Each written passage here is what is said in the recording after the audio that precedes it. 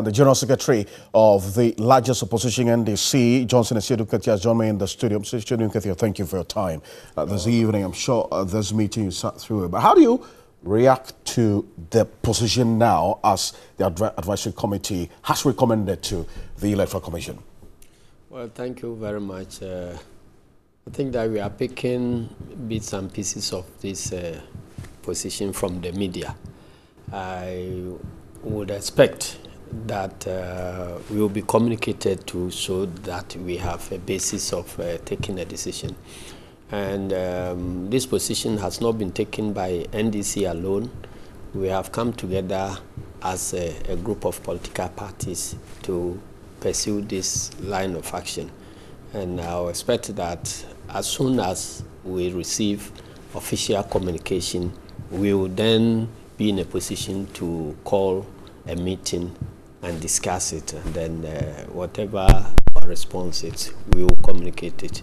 But uh, let me say that uh, it's, uh, it's a welcome news. It's a good step in the right mm. direction because we, our position has always been that, look, we are in this together. Ghana belongs to all of us. Before we can move, let us assess where we are let us all agree that there are shortcomings about where we are and for which reason there may be or may not be a, a, a need to move to a new position. Then, after we have all agreed that there is a need to move, we will proceed to now uh, interrogate whether which other position we can occupy which will be better than the current situation. When we all agree to that one, then we will come to pursue uh, how do we get to the new position we want to get to. That is how change is managed, and this has been our position all along. But we are were disappointed when the Electoral Commission seemed to be uh, putting all these three steps together, all jumbled together, while there is some debate about the need to change the register or maintain it, then uh, they move to uh, the, the, the, need to get facial recognition and, and all that. And then, whilst all these have not been settled, there is a procurement process. Mm. So um, we think that if uh, they have realized that uh, things must be done properly, we are prepared. All the, the documents they have been citing, mm. we've been calling them. If you want us to reason together right. and arrive at a common position, mm then we should all get the evidence and pursue the evidence together. None of the documents they've been quoting in their press conferences has been made available to any of us. They've not been made available to no. you. But the EC's position has always been that if, if they maintain this current register and go with it, it's going to cost them more as against uh, going with a, a, new register, as has always been their position, as you put out. We have said that that cannot be true. It's not borne out of the documents they themselves have prepared and presented to Parliament. And indeed, yesterday I demonstrated it mm -hmm. to them. They have been creating the impression in their press conferences that the new uh, register, everything will cost us about 444 million, which we have disputed because I just pulled their own budget, which they submitted to Parliament. And from that budget, it is clear that uh, new equipment and new registration will cost the nation more than 800 million. So whom are they trying to deceive?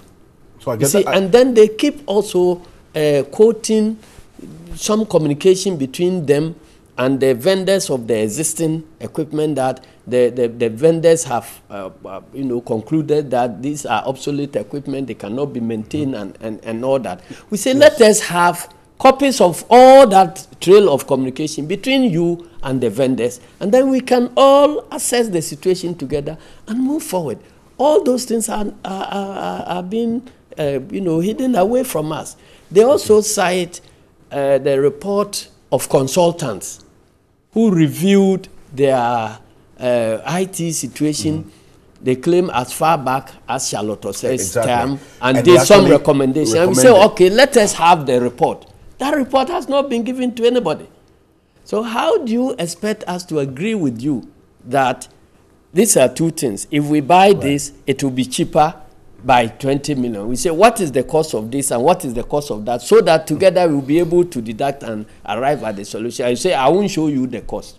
So how are we expected to take a decision? So I get the, uh, the, the indication that if this invitation should come, you're, you're going to go ahead and all right and go into the dialogue. But you're going into it with the position that you are against the compilation of a new register.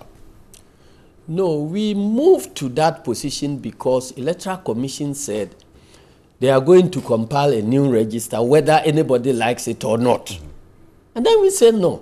We are at a situation where we, we are where we are. Mm -hmm. We need to be convinced that there is a need to change.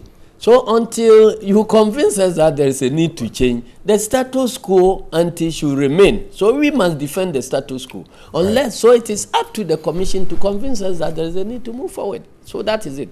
But okay. that is not to shut the door completely to any form of change. Mm. But let us reason together. Let us review the evidence together right. and let us uh, uh, so that we will all right. agree that there is a need to change mm. and then if the need that need to change will serve the interests of ghana why not but we will not allow uh, some change that is based on the figment of people's imagination which is not backed by any sound reasoning Johnson Asiedu Nketia, thank you for your time this evening. Extremely grateful. He's General Secretary of the NDC, Johnson Asiedu Nketia, joining me in the studio uh, uh, also to deliberate as well on the way forward with that proposal by the 21-member committee, uh, that's advisory committee that's put together, and they uh, making that recommendation to the Electoral Commission to consider engaging a lot more with the political parties on that decision to compile a new voters register.